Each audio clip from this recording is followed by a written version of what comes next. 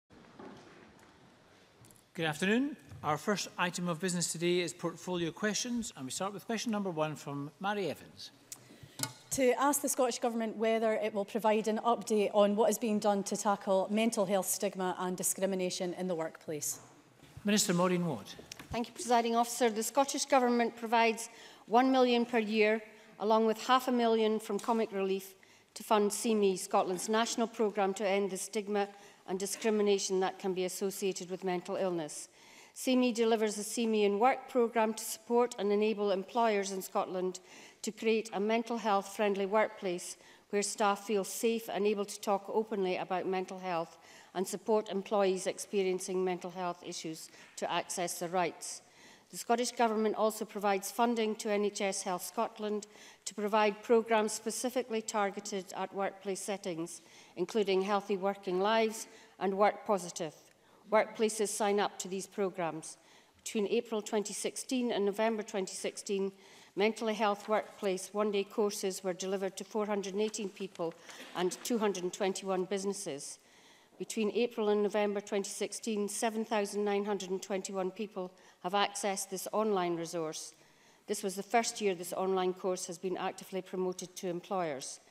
There has been mentally health workplace training for trainers courses to 34 trainers and 16 businesses, which qualify those attending to deliver the mental health at work course at local or business level. Work positive courses were delivered to 113 people, 80 businesses, to allow them to use the work positive resource in their businesses and identify the work-related issues that are causing stress to staff. Mary Evans. I thank the Minister for that response and I ask that question because I've had a, a number of cases recently where people taking antidepressants, for example, have either been prevented from entering into other sectors of employment or progressing in their own careers. So I think this is a very important issue. But further to that, a study by the Mental Health Foundation last year found that one in six adults had reported symptoms of a mental health condition in the period from 2012 to 2015. And further to that, 20% of adults reported symptoms of depression in 2014 and 15. Statistics in that report also show a link between deprivation and depression. While the statistics are alarmingly high, what can be done to encourage those who are afraid by the perceived stigma attached to mental health issues to speak up and to seek health? Maureen Wood. Uh, well, I would say to Mary Evans and to anyone in the chamber that we should all encourage people to talk openly about how they're feeling and uh, to any person who is experienced depression or any other mental health problem to come forward and seek support, for example, from their GP. GPs are well placed to advise and guide patients regarding appropriate treatment or management of symptoms. Out-of-hours support is also available from NHS 24 through Breathing Space or from the Samaritans. Regarding stigma associated with mental health, as I said in my first answer, we fund the, the See Me programme Um, and we are already seeing the benefit of tackling stigma and discrimination with record numbers of people coming forward uh, for support. Um, and there are other uh, awareness raising actions uh, that we have taken to uh, break down stigma. But our new mental health strategy will include um, ways in which we can further uh, have parity esteem and continue to reduce stigma. Miles Briggs. Thank you, Presiding Officer. The Minister will know that Scottish Conservatives have been urging um, more businesses to introduce workplace mental health champions. Is this something the Scottish Government will look to take forward in the new mental health strategy? And can the Minister confirm to Parliament when that new mental health strategy will be published? Minister. Uh, to answer Miles Briggs' second question first, the, the mental health strategy will be published in the coming weeks um, in terms of working with businesses um, I am engaged with businesses. I think in the coming weeks I've got an event out uh, at Gogarburn with RBS and, and I'm sure a number of businesses, not just RBS, will be at that event. Um, so I'm looking forward to engage further with businesses and workplaces as the mental health strategies published and taken forward. Question number two, Alexander Burnett. Thank you. Uh, to ask the Scottish Government what action is being taken to ensure that social prescribing – enables GP practices to refer obese patients and people with type 2 diabetes and other medical conditions to third sector support services. Cabinet Secretary Shona Robertson. The Scottish Government funds the ALIS programme through the Health and Social Care Alliance Scotland. On, this online service enables GP practices to connect people to sources of support in the community across the full range of health and care services, including support services for diabetes and weight management. We also fund the Links Worker programme, which is on the front line of the battle against health inequalities. The programme provides a dedicated individual working in GP surgeries to provide one-to-one -one support to people to address issues such as poverty, debt and isolation, which are making them unwell. Over the next five years, we'll increase the number of Links workers in disadvantaged areas to 250. Alexander Burnett. Uh, I thank the Cabinet Secretary for her answer. Uh, she'll be aware that organisations such as Jog Scotland are being used by GPs to help our most vulnerable patients. uh, so how does she feel that these third sector organisations can continue to operate when they're having their budget slashed by the Scottish Government? Cabinet Secretary.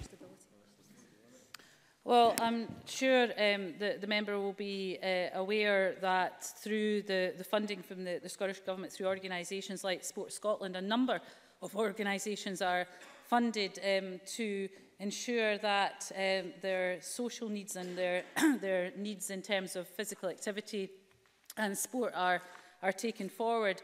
Uh, obviously, in the difficult financial climate, difficult decisions are being made around the funding to particular organisations. However, those discussions um, will continue to make sure that there is a broad range of organisations out there that people can be referred to.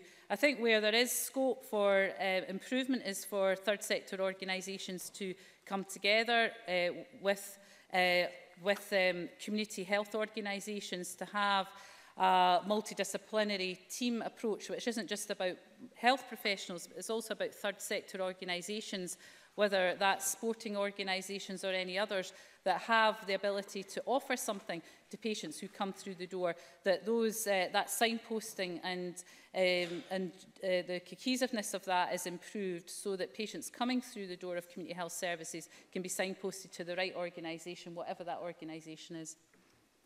Question number three, Richard Lockhead. Can I ask the Scottish Government what treatment and support is available to chronic pain patients in the NHS Grampian area? Minister Aileen Campbell.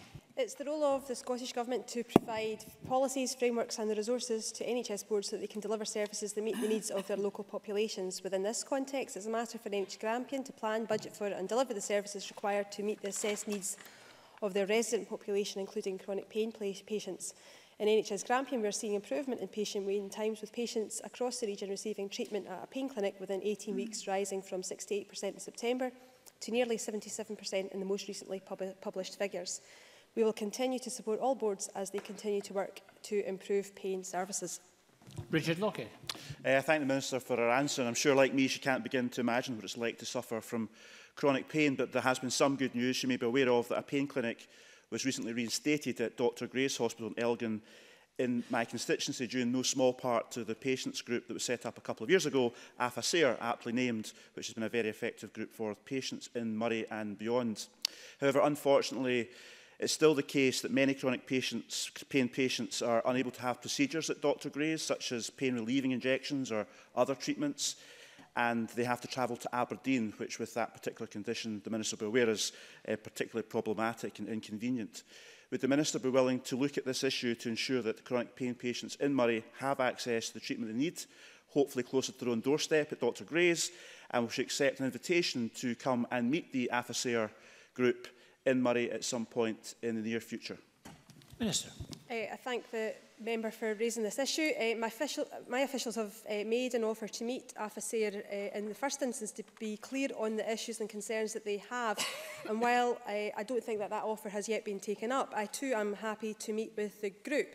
I will also instruct my officials to fully look at the issues that the member raises because while the ISD figures are encouraging and show that there has been improvement around waiting times Uh, Richard Lockhead is absolutely right to raise these local concerns and for my officials along with the group to work together to identify where further improvement can be made. And I'm happy again also to engage with uh, the member on this issue and to keep uh, an, eye, uh, an eye on uh, progress. Anas Sarwar. Thank you, Presiding Officer. There are challenges with chronic pain patients, not just in Grampian, but actually right across the whole of Scotland. Uh, NHS Grampian is one of six health boards that is failing to meet the 18-week uh, referral to treatment time.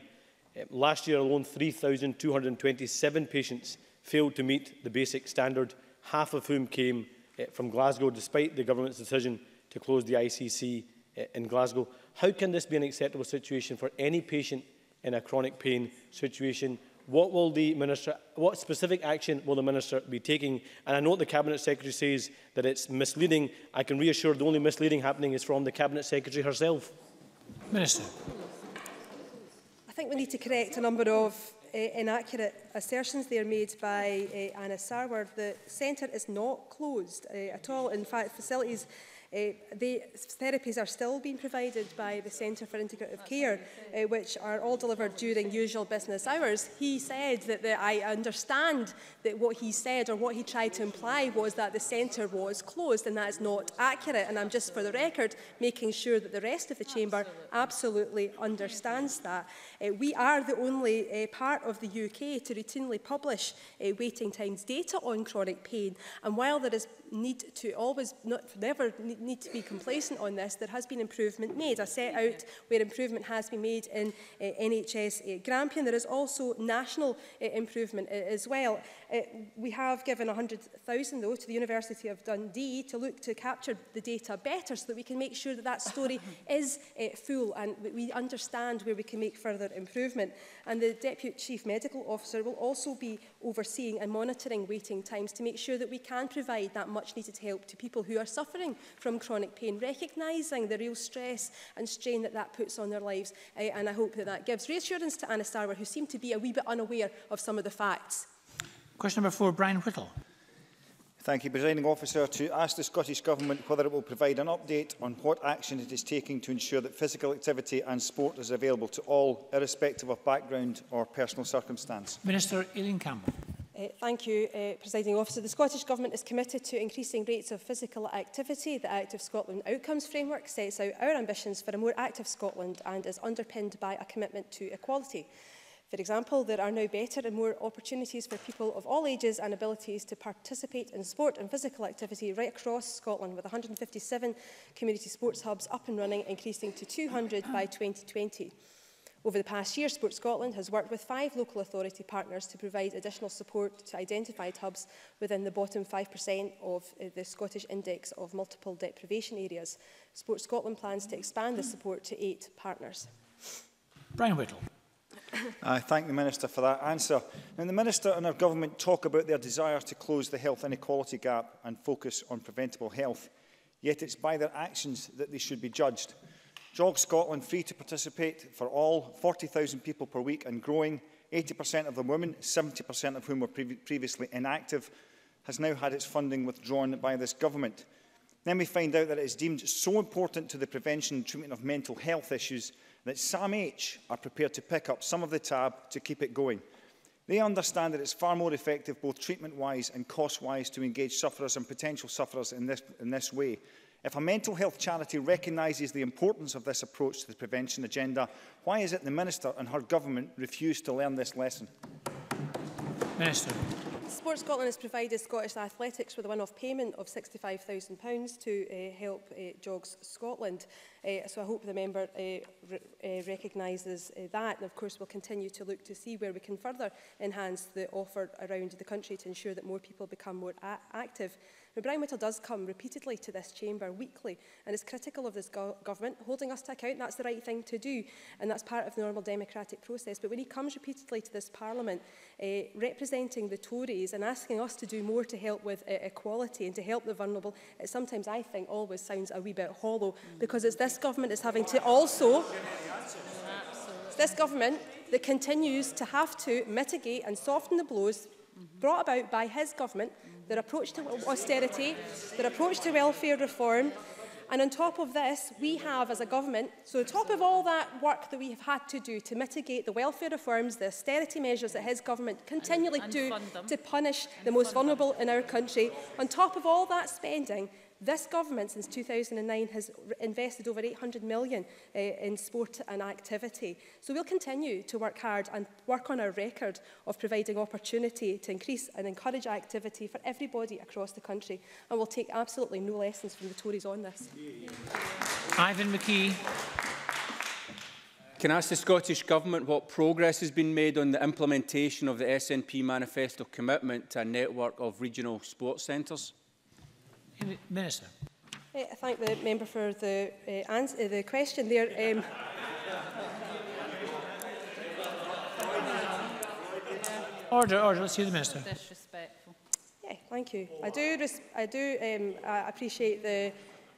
the question that Ivan McKee has uh, raised because he's absolutely right to raise our SNP commitment to a network of regional sports centres. And it's important to recognise that sports facilities right across this country have the best that they have ever been due to the collaborative approach taken right across the whole uh, sporting systems. Now, Presiding officer, I hear a lot of the members uh, trying to heckle me while I'm speaking, but you know, I think it would be due for it would be uh, appropriate for them to listen to the answer to some of the points I'm trying to make. Sports Scotland remain committed to working with its partners and developing a nation a, a network of national and regional facilities where people can get involved in sport, whether that's in school, an education club or community or performance environments. And we've already seen the Orium, the National Performance Centre for Sport, open its doors in August last year. The National uh, Parasport Centre will be opening shortly, and the new National Curling Academy at the Peak in Stirling uh, eh, is well underway and due for completion later on this year. So I hope that gives a bit more of a flavour about the continued effort to ensure that our uh, facilities in Scotland continue to be among the best. Question number five, Jamie Green. Uh, to ask the Scottish Government what its response is to the recent Samaritans report, which recorded a disparity in suicide rates across all uh, local authorities. Mr Maureen Watt. Presiding officer, any death by suicide is a tragedy. Sadly, the link between deprivation and risk of suicide is well known, as is the vari variability of suicide rates from one locality to another. We will take this report's recommendations into account, including placing emphasis on inequalities as we develop a new suicide prevention strategy for publication early next year. In Scotland, although suicide rates are higher than average in the most deprived areas, it is important to recognise that this inequality gap has narrowed over the past decade.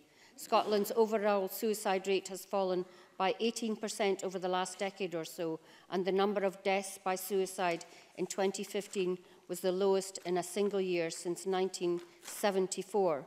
From our discussions with a range of stakeholders, including Samaritans, it is clear that there is a perceived need to refresh and invigorate local suicide prevention action. This will vary from area to area, depending on local circumstances and local needs. This is something to which we will pay particular attention in the development of a new suicide prevention strategy. Jamie Green. I thank the Minister for that response. Uh, the Samaritans report highlighted that a person living in a deprived area was three times more likely to commit suicide than someone living in an affluent area. In my own region, Inverclyde has the highest rate of suicides in any local authority in Scotland. But the causes and reasons for suicide are varied. For example, figures released by the Thai campaign last year show that a quarter of our LGBTI community had attempted suicide at least once, a, a statistic which uh, shocks and deeply saddens me.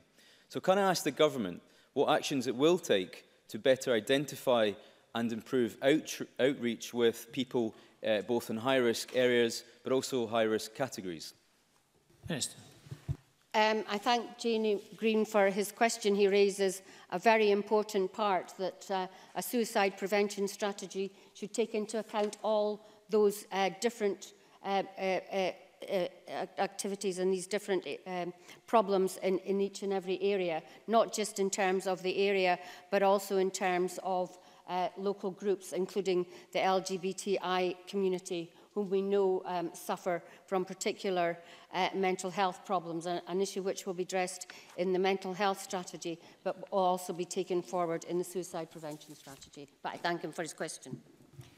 Monica Lennon.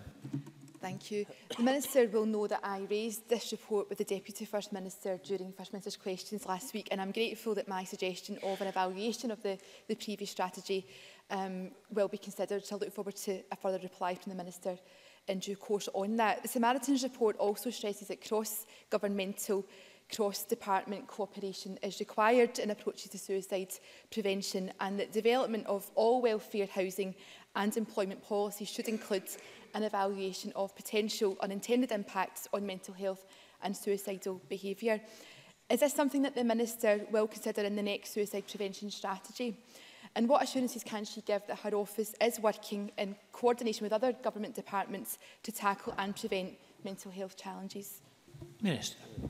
Um, I can assure the member that this government walks, works across portfolios uh, on all aspects of government. I'm very well aware that in terms of improving the health and the mental health of the nation, it isn't just down to the Minister for Mental Health or indeed uh, my colleagues in the health portfolio, but obviously in terms of uh, housing and communities ministers and education and many others, including the environment, for example. So we're all in this together.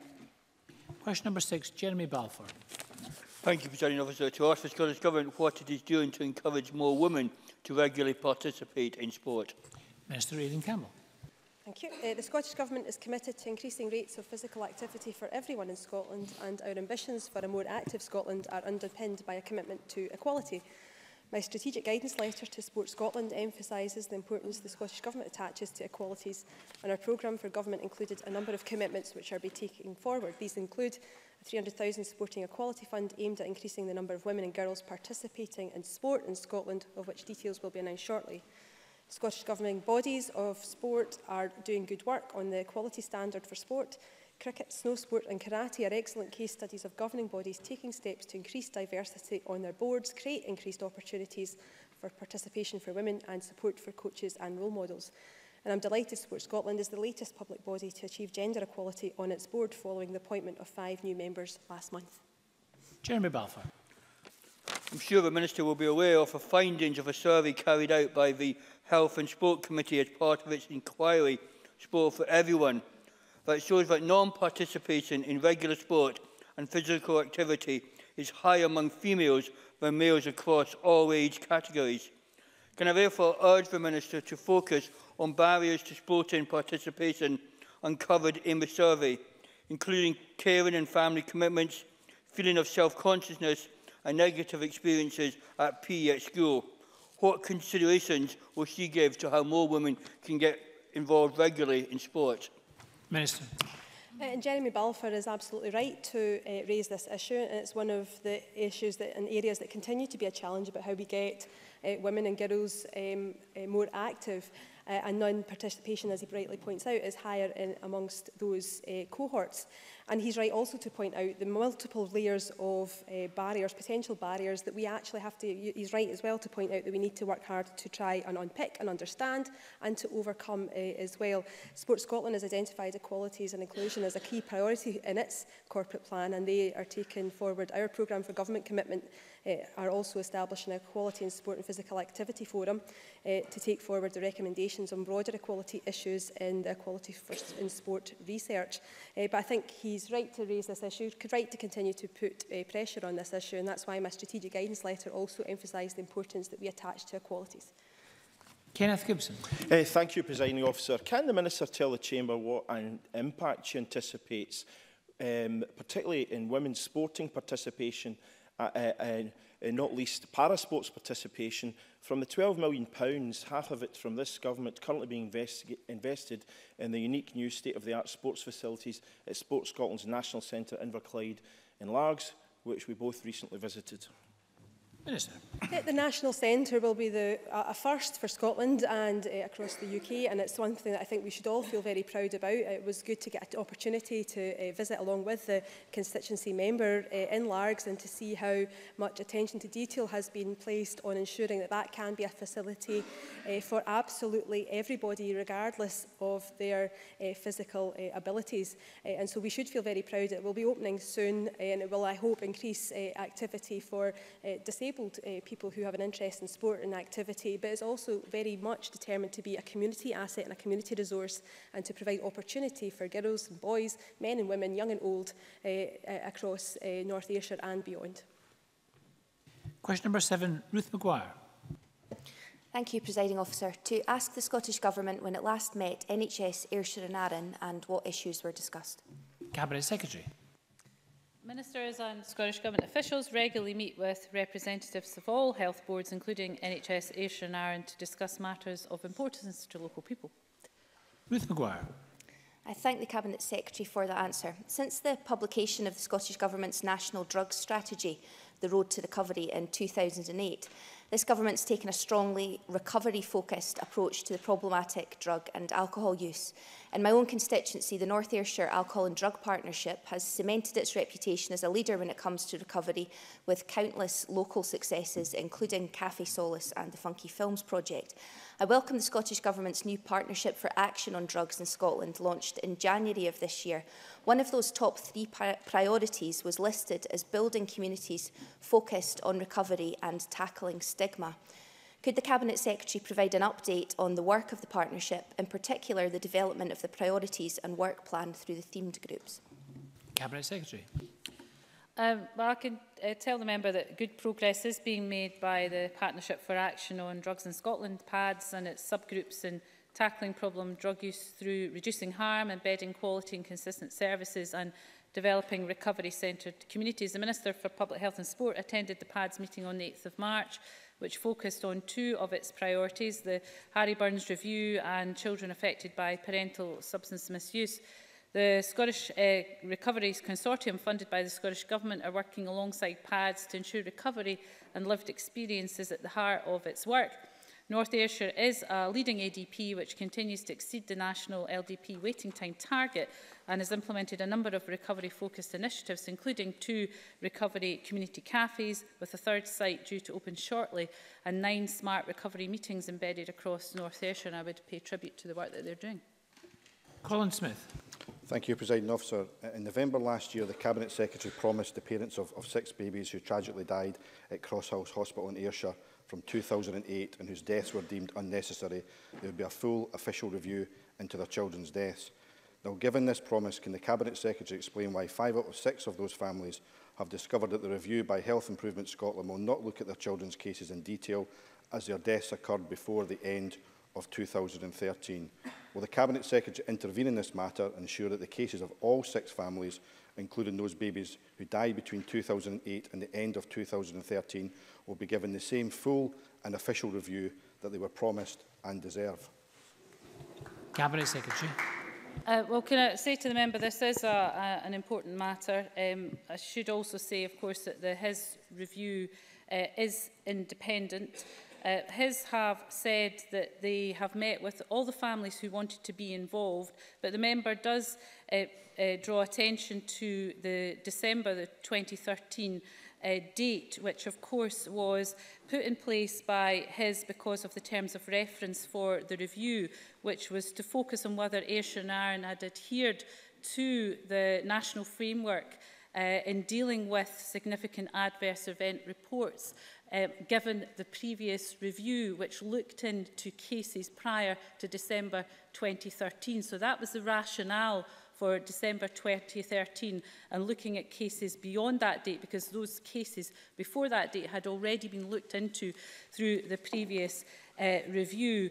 However, um, what is important is in the taking forward the review that uh, his are uh, able to um, have further engagement with the families and I would encourage them to do so uh, to try to address their concerns, but I think we have to not lose sight that the review was established for a specific reason, and that was to look at whether or not Ayrshire and Arran had adhered to the national uh, guidance in dealing with significant adverse event reports since the previous review.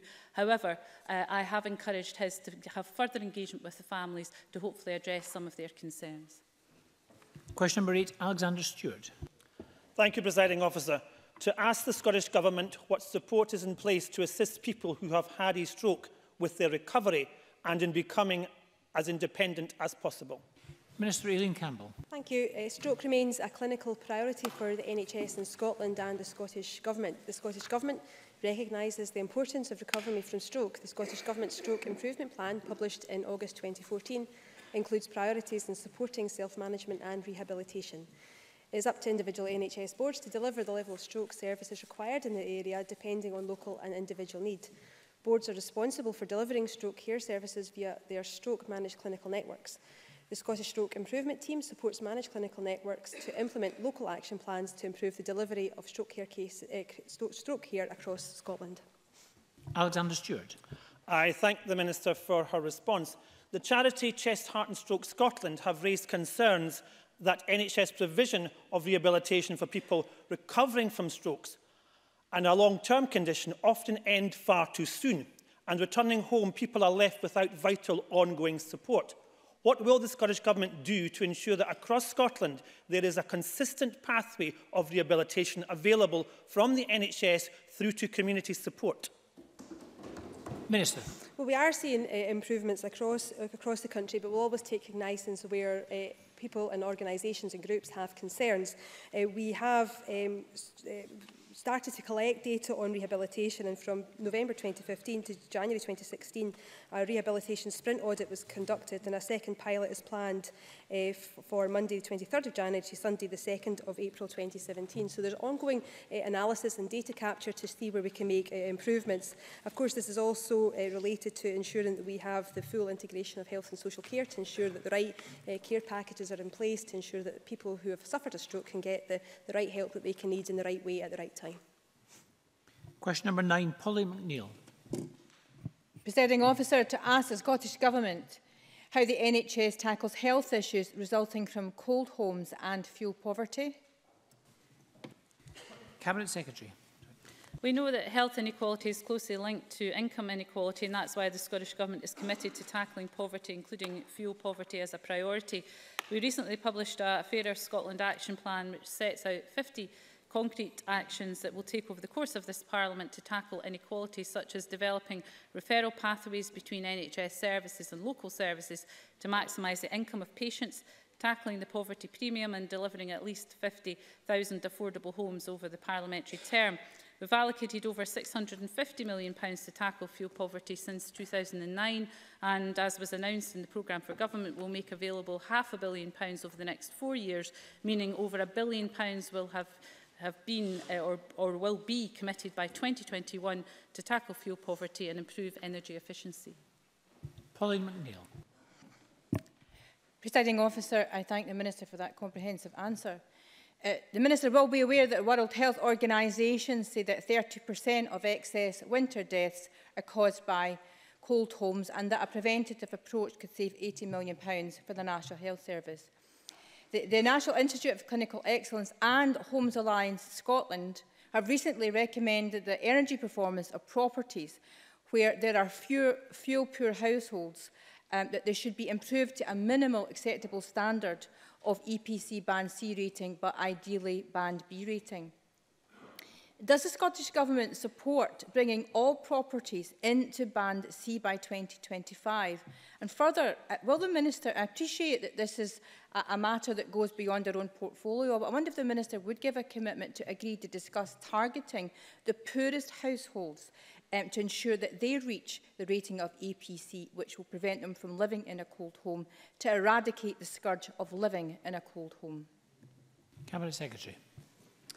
Uh, well, I'll certainly uh, get uh, the, the Cabinet Secretary to uh, write to Pauline McNeill with some of the specifics uh, that she raises because they are uh, slightly out with my portfolio but nonetheless very important issues. What I can say to her, and she'll be well uh, aware uh, of this is that, uh, that we're consulting on a new long-term fuel poverty strategy, including proposals for a new overarching target in autumn 2017 and that's going to feed into the development of a new warm homes bill which we plan to introduce in 2018 and I suspect that will be a further opportunity for Polly McNeill to raise some of those issues and proposals around the targeting uh, that she's raised here today uh, but what I will ensure is that a more detailed response is sent to Polly McNeill uh, in due course.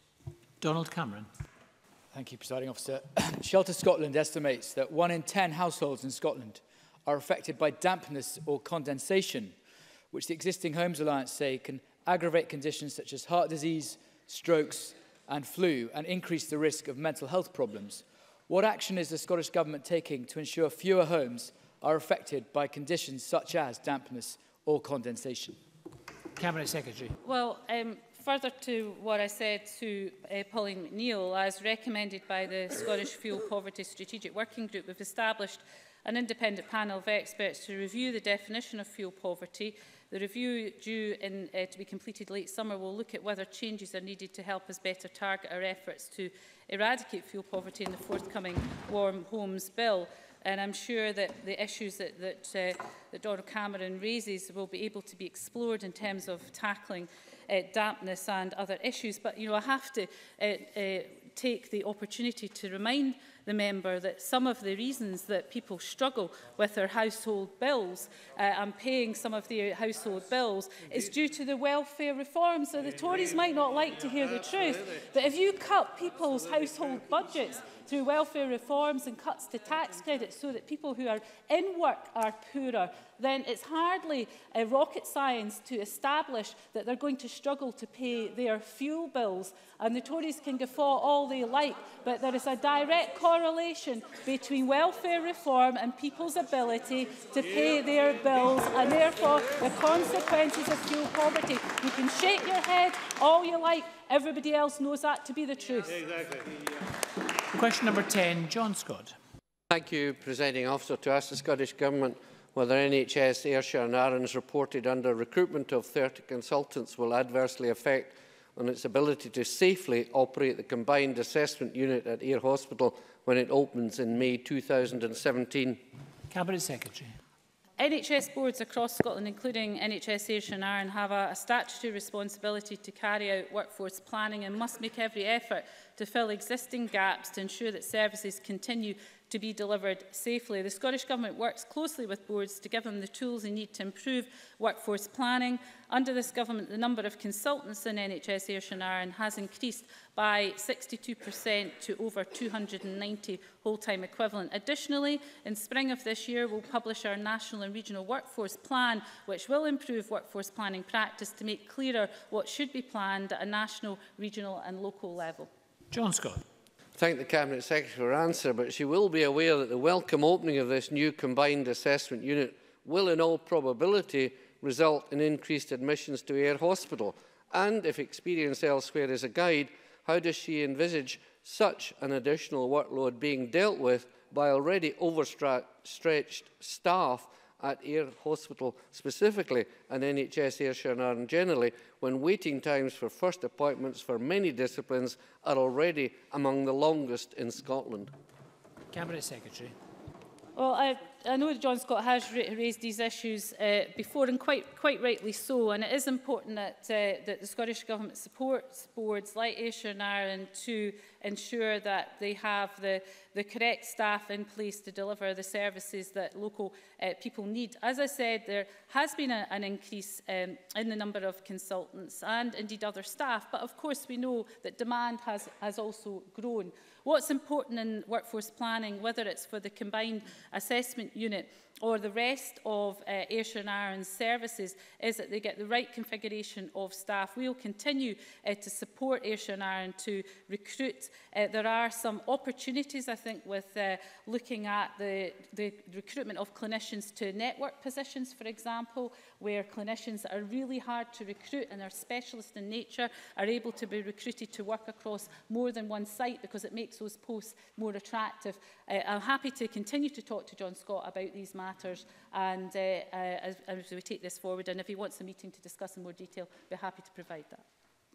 Question number 11, Douglas Ross. Thank you, Presiding Officer. To ask the Scottish Government what its response is to claims that return patients who require reg regular treatment are not counted in chronic pain waiting times and what action it is taking to address the reported excessive delays that some face before receiving treatment.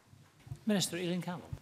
Scotland is the only nation in the UK to routinely publish the chronic pain waiting times. This is a clear sign of this government's commitment to making improvements for people living with chronic pain.